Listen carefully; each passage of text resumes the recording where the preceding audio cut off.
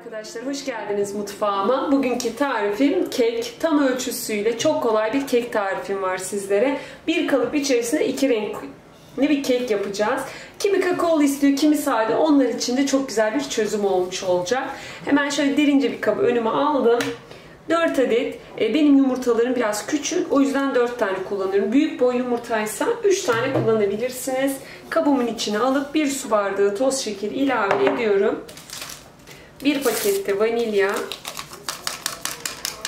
Şimdi şekerle yumurtayı açık renk olana kadar en az 2-3 dakika boyunca çırpıyorum.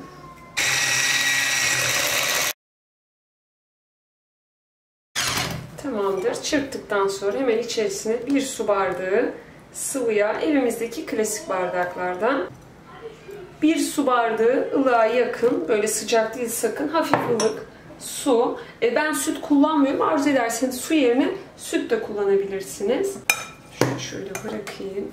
Burada 3 su bardağı unu eleyerek içerisine ilave ediyorum. Bir taraftan da bir paket kabartma tozunu açayım. Unu içerisine karıştırayım.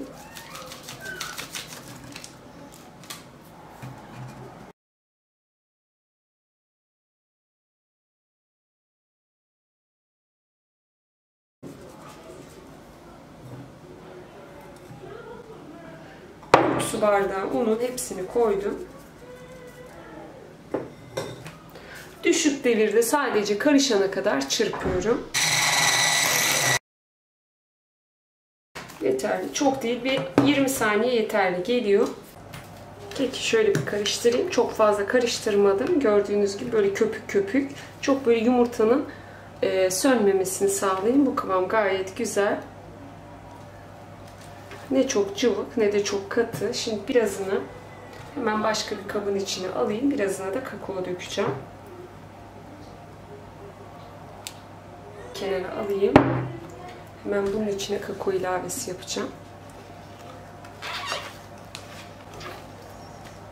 Ee, diğer kalan kısma 2 yemek kaşığı kakao ilave ediyorum. Sizler de yeterince ilave edebilirsiniz. Şöyle çeyrek çay bardağı kadar da süt ilave ettim ki böyle daha rahat e, karışması için. Yoksa biri çok katı, birisi çok e, cıvık olur. Ondan dolayı eşitlemek için birazcık süt katın. Şimdi bunu da güzelce yediriyorum. Bakın eğer gene katıysa süt ilave edebilirsiniz. Bu çok bir sıkıntı çıkarmayacak. Ben de hemen şu dibindekini de dökeyim. Ben tam çeyrek çay bardağı döktüm. Bu arada fırınımı da 180 derece açtım. Muhakkak fırınınız önceden ısıtılmış olsun. Ona özen gösterin lütfen. Bu da hazır. Şimdi hemen kalıbımı getireyim. Hemen şöyle bir kalıp kullanacağım ben arkadaşlar. Birazcık da olsa böyle tereyağıyla yağladım. E, güvenemedim doğruyu söylemek gerekirse. Bunu yeni aldım çünkü yapışır mı yapışmaz mı emin olmak için. Ben gene de çok azıcık tereyağıyla yağladım. Şimdi ikisini de aynı anda birini bir taraftan, birini bir taraftan döküyorum.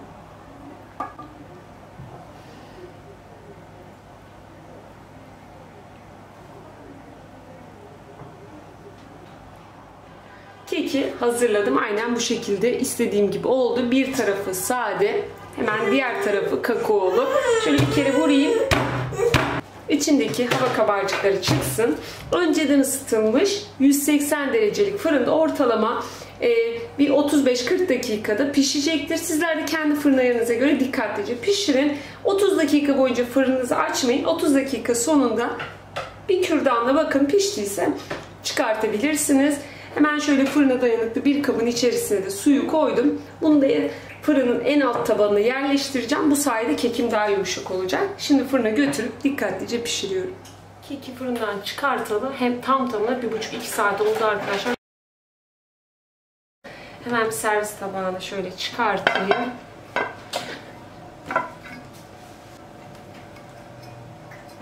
Müthiş güzel oldu. Çok da rahatlıkla çıktı gördüğünüz gibi. Döküm kalıpları kesinlikle tavsiye ediyorum. Bakın içi de tertemiz. Muhakkak sizler de almalısınız. Harika bir şey oldu. Şimdi hemen böyle dilimleyeyim sizler de görün.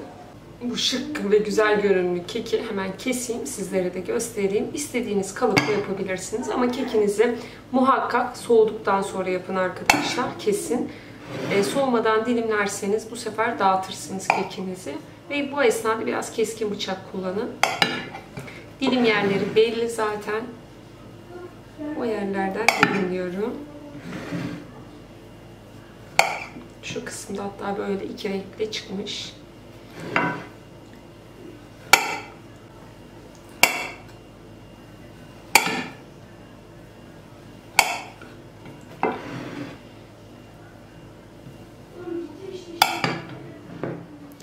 Görüntüsü harika olmadı mı arkadaşlar? Sanki böyle iki tane ayrı ayrı kek yapmış gibi bir görüntüsü var.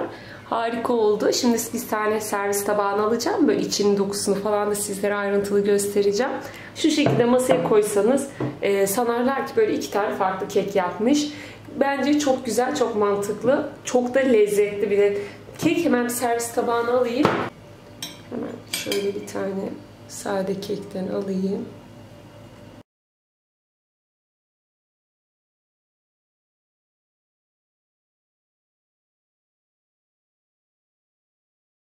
Kakaodan alacağım.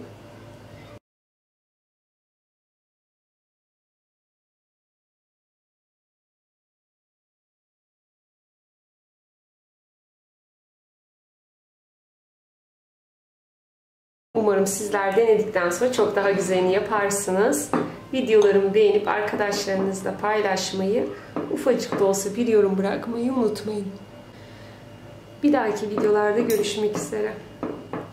Hoşçakalın.